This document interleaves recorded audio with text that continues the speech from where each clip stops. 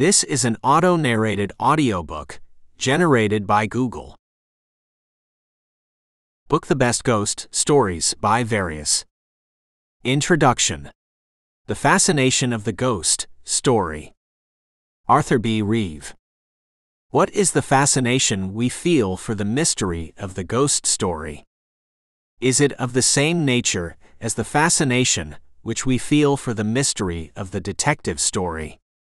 Of the latter fascination, the late Paul Armstrong used to say that it was because we are all as full of crime as Sing Sing, only we don't dare. Thus, may I ask, are we not fascinated by the ghost story because, no matter what may be the scientific or skeptical bent of our minds, in our inmost souls, secretly perhaps, we are as full of superstition as an Obi man, only we don't let it loose. Who shall say that he is able to fling off lightly the inheritance of countless ages of superstition? Is there not a streak of superstition in us all? We laugh at the voodoo worshipper, then create our own hoodoos, our pet obsessions. It has been said that man is incurably religious, that if all religions were blotted out, man would create a new religion. Man is incurably fascinated by the mysterious. If all the ghost stories of the ages were blotted out, man would invent new ones. For do we not all stand in awe of that which we cannot explain, of that which, if it be not in our own experience, is certainly recorded in the experience of others, of that of which we know and can know nothing?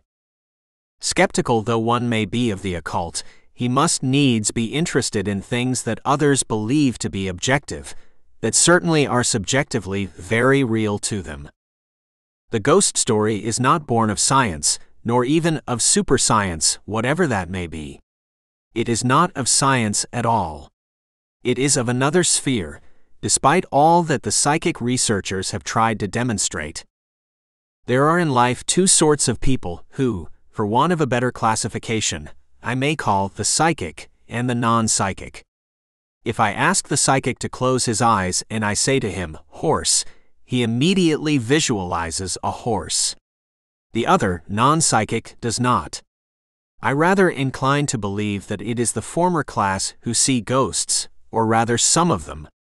The latter do not, though they share interest in them. The artists are of the visualizing class, and in our more modern times, it is the psychic who think in motion pictures, or at least in a succession of still pictures. However, we explain the ghostly and supernatural, whether we give it objective or merely subjective reality, neither explanation prevents the non psychic from being intensely interested in the visions of the psychic. Thus, I am convinced that if we were all quite honest with ourselves, whether we believe in or do not believe in ghosts, at least we are all deeply interested in them. There is in this interest something that makes all the world akin. Who does not feel a suppressed start at the creaking of furniture in the dark of night? Who has not felt a shiver of gooseflesh, controlled only by an effort of will?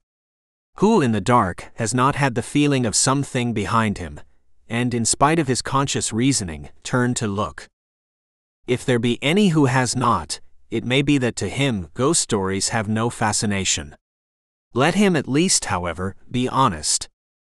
To every human being mystery appeals, be it that of the crime cases on which a large part of yellow journalism is founded, or be it in the cases of Dupin, of Lecoq, of Sherlock Holmes, of Arsène Lupin, of Craig Kennedy, or a host of others of our fiction mystery characters.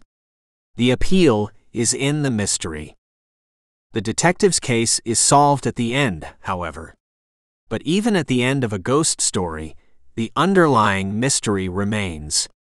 In the ghost story, we have the very quintessence of mystery. Authors, publishers, editors, dramatists, writers of motion pictures tell us that never before has there been such an intense and wide interest in mystery stories as there is today. That in itself explains the interest in the super mystery story of the ghost and ghostly doings. Another element of mystery lies in such stories. Deeper and further back is the supreme mystery of life after death what? Impossible, scorns the non psychic as he listens to some ghost story. To which doggedly replies the mind of the opposite type Not so. I believe because it is impossible. The uncanny, the unhealthy, as in the master of such writing Poe, fascinates. Whether we will or no, the imp of the perverse lures us on. That is why we read with enthralled interest these excursions into the eerie unknown. Perhaps reading on till the mystic hour of midnight increases the creepy pleasure. One might write a volume of analysis and appreciation of this aptly balanced anthology of ghost stories, assembled here after years of reading and study by Mr. J. L. French. Foremost among the impressions that a casual reader will derive is the interesting fact, just as in detective mystery stories, so in ghost stories, styles change. Each age, each period has the ghost story peculiar to itself. Today, there is a new style of ghost story gradually evolving. Once stories were of fairies, fays, trolls, the little people, of poltergeist and loup-garou. Through various ages, we have progressed to the ghost story of the 18th and 19th centuries, until today, in the 20th, we are seeing a modern style, which the new science is modifying materially. High among the stories in this volume, one must recog PG X Nye's The Masterful Art of Algernon Blackwood's The Woman's Ghost Story. I was interested in psychic things, says the woman, as she starts to tell her story simply, with a sweep toward the climax that has the ring of the truth of fiction. Here, perhaps we have the modern style of ghost story at its best. Times change as well as styles. The Man Who Went Too Far is of intense interest as an attempt to bring into our own times an interpretation of the symbolism underlying Greek mythology, applied to England of some years ago. To see Pan meant death. Hence, in this story, there is a philosophy of pantheism no me, no you, no it. It is a mystical story, with a storm scene in which is painted a picture that reminds one strongly of the fall of the House of Usher, with the frankly added words, On him were marks of hoofs of a monstrous goat that had leapt on him, in compromising mysticism. Happy is the Kipling selection, The Phantom Rickshaw, if only for that obiter dictum of ghost presence, as Kipling explains about the rift in the brain. And a little bit of the dark world came through and pressed him to death. Then there are the racial styles in ghost stories, the volume takes us from the banshees and other death warnings of Ireland to a strange example of Jewish mysticism in The Silent Woman. Mr. French has been very wide in his choice, giving us these as well as many examples from the literature of England and France. Finally, he has compiled from the newspapers, as typically American, many ghost stories of New York and other parts of the country. Strange that one should find humor in a subject so weird. Yet we find it. Take, for instance, Defoe's old narrative, The Apparition of Mrs. Veal. It is a hoax, nothing more. Of our own times is Ellis Parker Butler's Dey Ain't No Ghosts, showing an example of the modern Negro's racial heritage. In our literature and on the stage, the very idea of a PG she darky and a graveyard is mirth provoking. Mr. Butler extracts some pithy philosophy from his darky boy. I ain't skeered ob ghosts what em. C's day ain't no ghosts, but I jes feel kinder oneasy bout de ghosts what ain't. Humor is succeeded by pathos. In the interval, we find a sympathetic twist to the ghost story, an actual desire to meet the dead. It is not, however, to be compared for interest to the story of sheer terror, as in Bulwer Lytton's the haunted and the haunters, with the flight of the servant in terror, the cowering of the dog against the wall, the death of the dog, its neck actually broken by the terror, and all that go to make an experience in a haunted house what it should be. Thus, at last, we come to two of the stories that attempt to give a scientific explanation, another phase of the modern style of ghost story.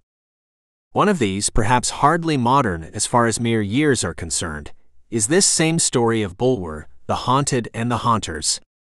Besides being a rattling good old fashioned tale of horror, It attempts a new fashioned scientific explanation.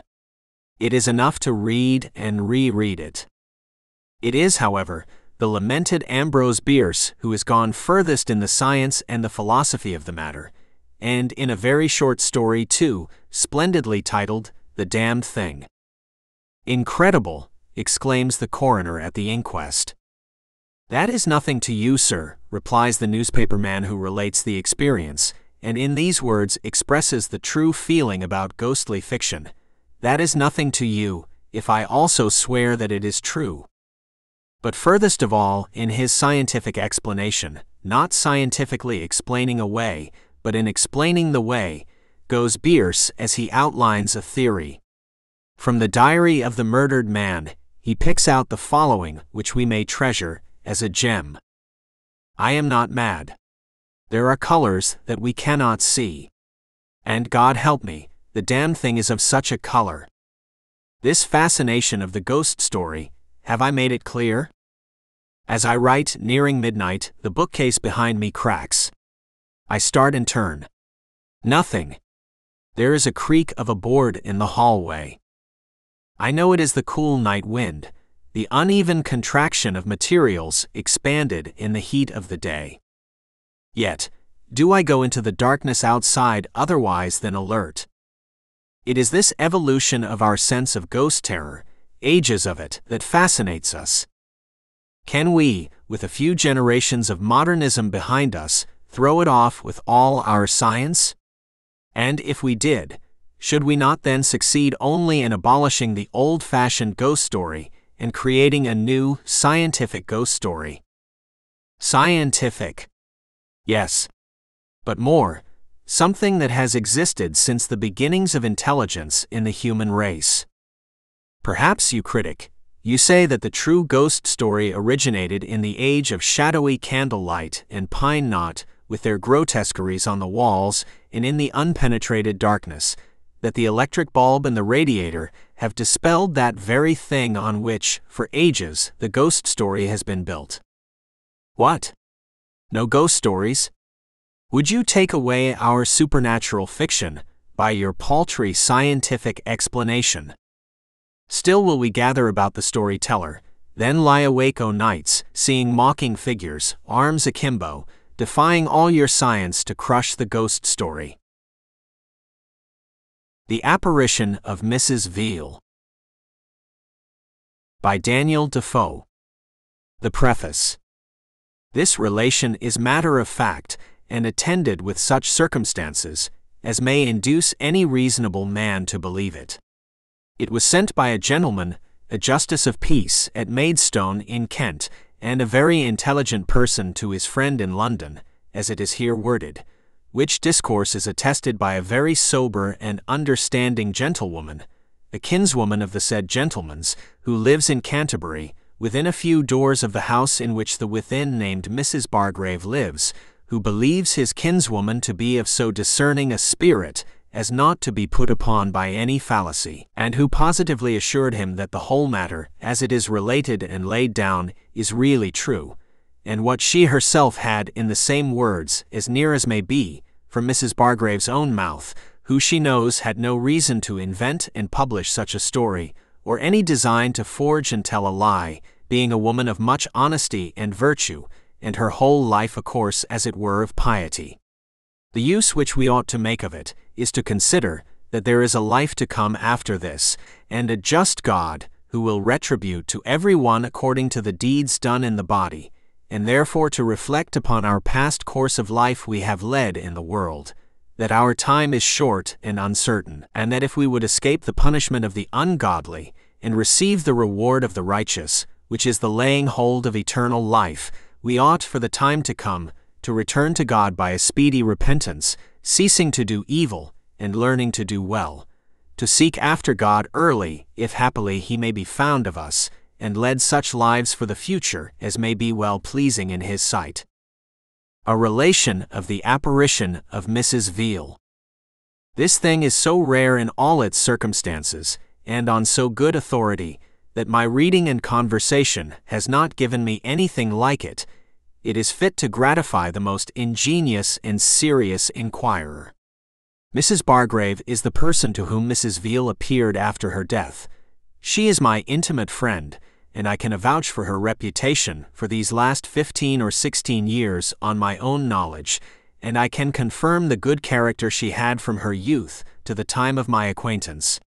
Though since this relation she is calumniated by some people that are friends to the brother of this Mrs. Veal, who appeared, who think the relation of this appearance to be a reflection, and endeavor what they can to blast Mrs. Bargrave's reputation, and to laugh the story out of countenance. But by the circumstances thereof, and the cheerful disposition of Mrs. Bargrave, notwithstanding the ill usage of a very wicked husband, there is not yet the least sign of dejection in her face, nor did I ever hear her let fall a desponding or murmuring expression.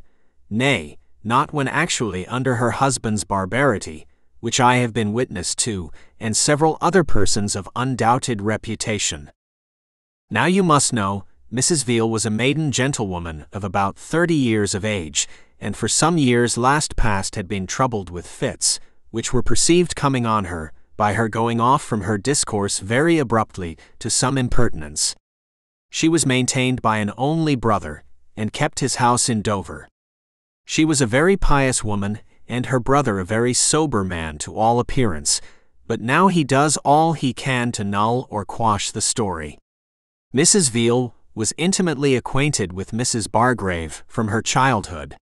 Mrs. Veal's circumstances were then mean. Her father did not take care of his children as he ought, so that they were exposed to hardships, and Mrs. Bargrave in those days had as unkind a father though she wanted neither for food nor clothing, whilst Mrs. Veal wanted for both, insomuch that she would often say, Mrs. Bargrave, you are not only the best, but the only friend I have in the world, and no circumstances of life shall ever dissolve my friendship.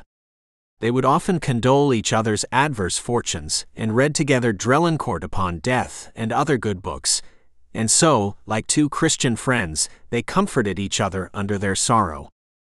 Some time after, Mr. Veal's friends got him a place in the custom house at Dover, which occasioned Mrs. Veal, by little and little, to fall off from her intimacy with Mrs. Bargrave, though there was never any such thing as a quarrel. But an indifferency came on by degrees, till at last Mrs. Bargrave had not seen her in two years and a half, though above a twelvemonth of the time Mrs. Bargrave hath been absent from Dover, and this last half year has been in Canterbury about two months of the time, dwelling in a house of her own. In this house, on the 8th of September, 1705, she was sitting alone in the forenoon, thinking over her unfortunate life, and arguing herself into a due resignation to Providence, though her condition seemed hard. And said she, I have been provided for hitherto, and doubt not but I shall be still, and am well satisfied that my afflictions shall end when it is most fit for me. And then took up her sewing work, which she had no sooner done, but she hears a knocking at the door. She went to see who was there, and this proved to be Mrs. Veal, her old friend, who was in a riding habit. At that moment of time the clock struck twelve at noon.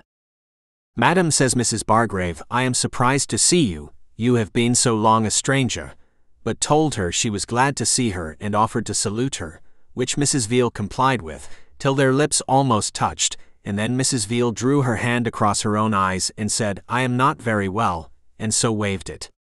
She told Mrs. Bargrave she was going a journey, and had a great mind to see her first.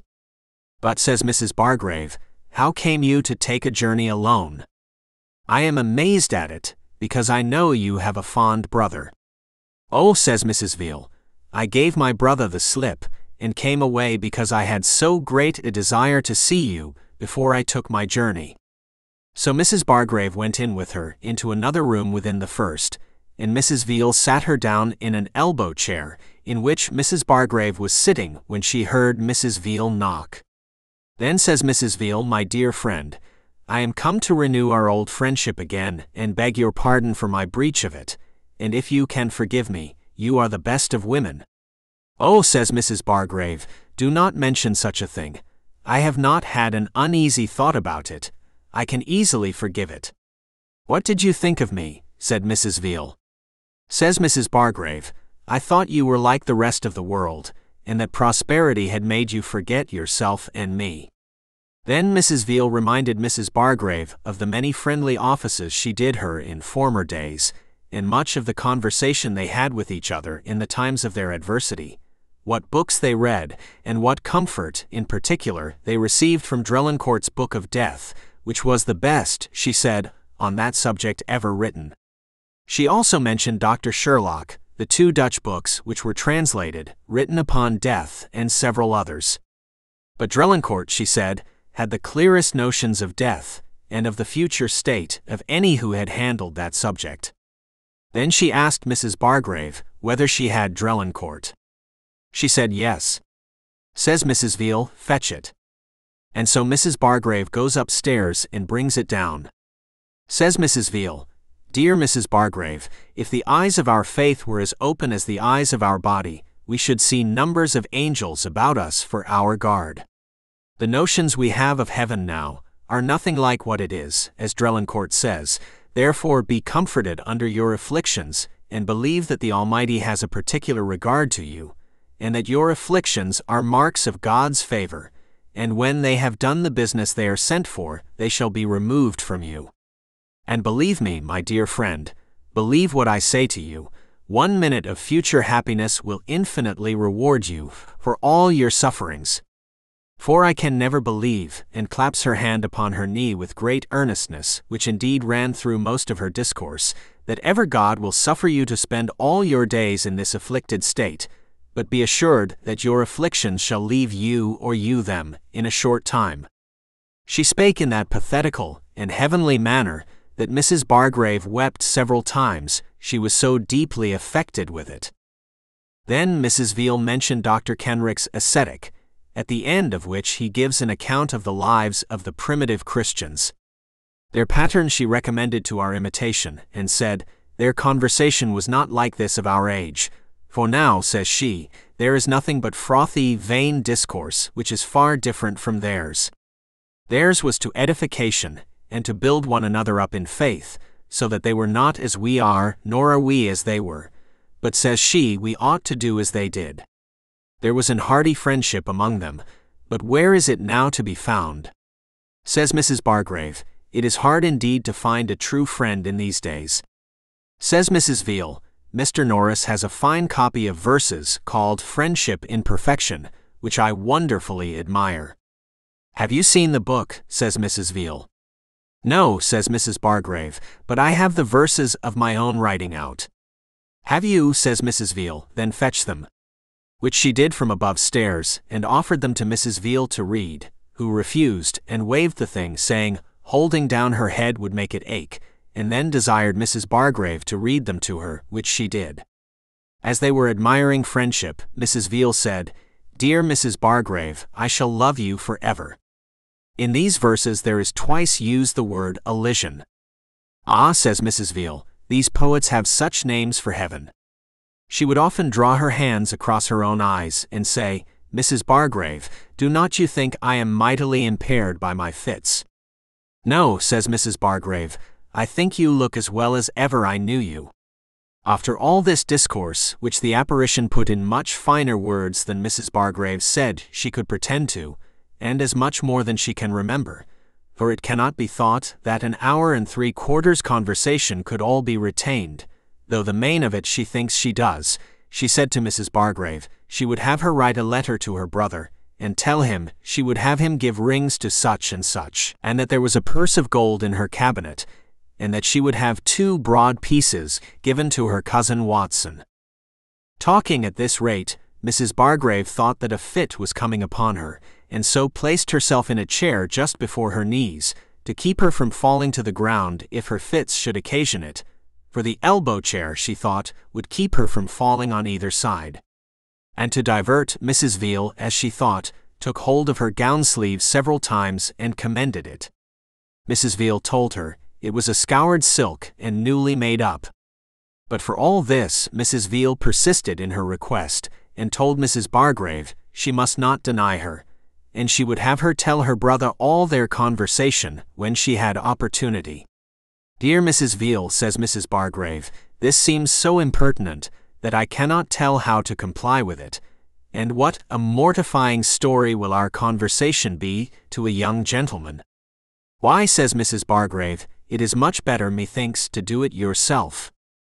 No, says Mrs. Veal, though it seems impertinent to you now, you will see more reason for it hereafter. Mrs. Bargrave then, to satisfy her importunity, was going to fetch a pen and ink, but Mrs. Veal said, Let it alone now, but do it when I am gone. But you must be sure to do it, which was one of the last things she enjoined her at parting, and so she promised her. Then Mrs. Veal asked for Mrs. Bargrave's daughter. She said she was not at home, but if you have a mind to see her, says Mrs. Bargrave, I'll send for her.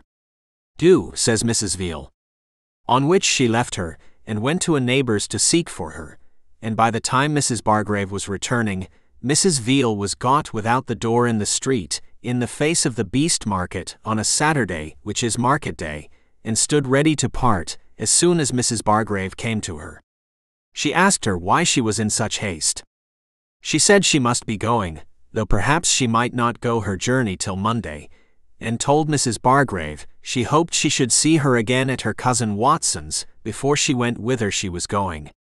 Then she said she would take her leave of her, and walked from Mrs. Bargrave in her view, till a turning interrupted the sight of her, which was three quarters after one in the afternoon.